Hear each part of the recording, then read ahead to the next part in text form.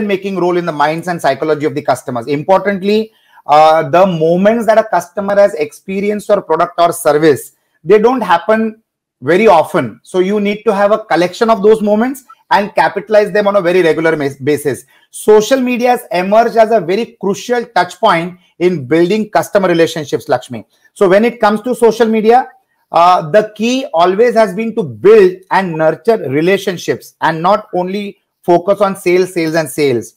However, Lakshmi, in 2021, when we are expecting to come back to normalcy, we need to build the strongest relationships through our marketing channels. In the new year, it will not just be connecting with the customers, but with everyone that includes your employees and vendors also. So the answer to whether we should stay with and strengthen our relationship based social media marketing is a big, big yes.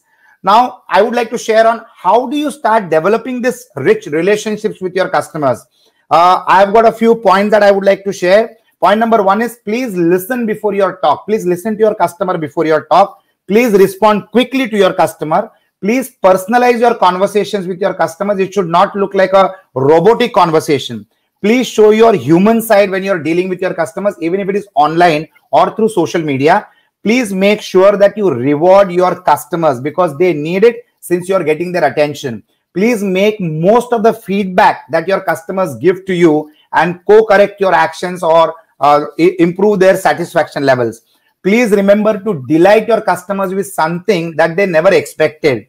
And always remember to embrace user generated content because that's the best testimonial you can ever have when your customer speaks good about your product or service. Social media, Lakshmi, is the perfect place to start building connections with your customers. It's an environment that's naturally intimate where we celebrate the need to share. So it's a very personal space of social media where the customer or a potential customer personally gets connected to you, your company, or your service executives who represent your company and interact with them, uh, which leads to building up a very personal, strong relationship.